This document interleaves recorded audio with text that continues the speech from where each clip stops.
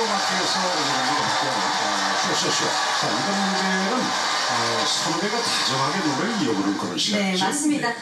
노래 부르신 하자 씨가요 문현주 씨의 노래죠.